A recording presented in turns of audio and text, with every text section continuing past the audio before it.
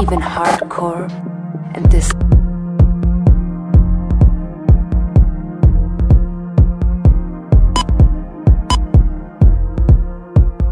be available like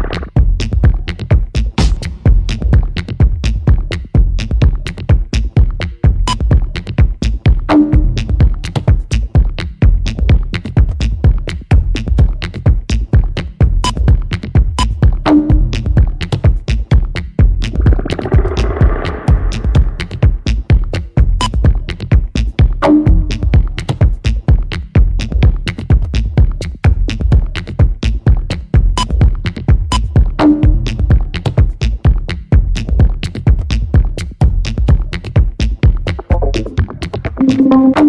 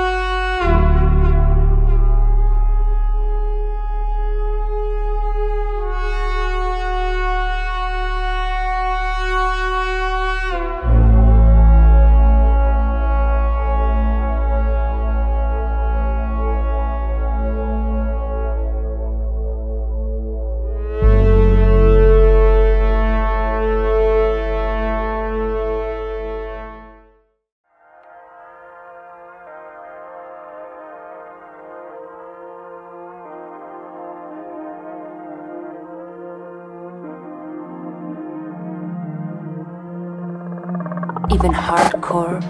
and this